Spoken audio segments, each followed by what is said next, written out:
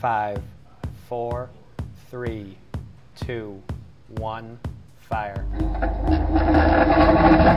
If you believe the hype, this is the future of city to city transport being tested for the very first time. It hits 70 miles an hour, whisking through 500 feet of a 1600 foot long steel tube. The team at Hyperloop One says this short but sweet firing of a sled in a vacuum tube is the world's first successful Hyperloop full systems test.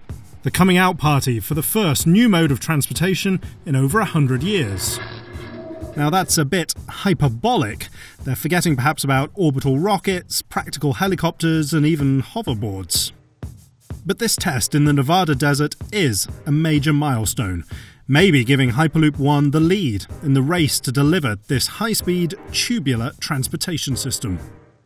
Hyperloop One also used the chance to show off its prototype pod that will carry the humans, or more likely just cargo at first, and that will one day be propelled through enormous vacuum tube networks at speeds of up to 700 miles an hour with close to zero air resistance to work against.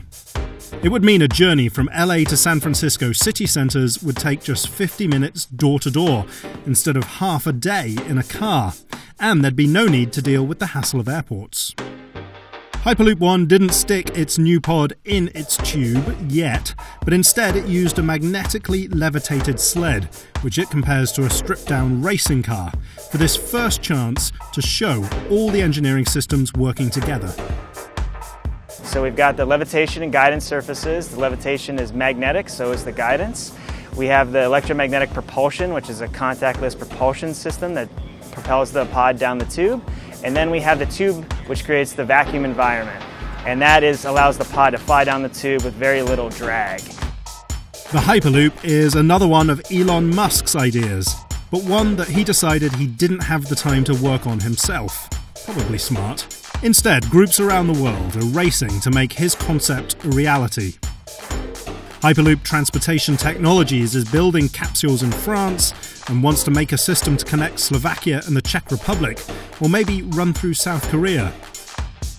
After a flurry of bizarre lawsuits were settled, ex Hyperloop One co founder Brogan BamBrogan started a new company, Arrivo, and it plans to have a Hyperloop up and running in just three years. And let's not forget that a bunch of talented students from around the world are competing to build Hyperloop pods and test them in a smaller scale tube at Elon Musk's SpaceX headquarters near Los Angeles.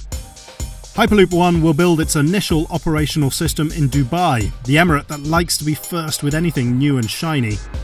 But it may just have the vision and the massive amounts of money that it's going to take to get this new form of transport up and running for real.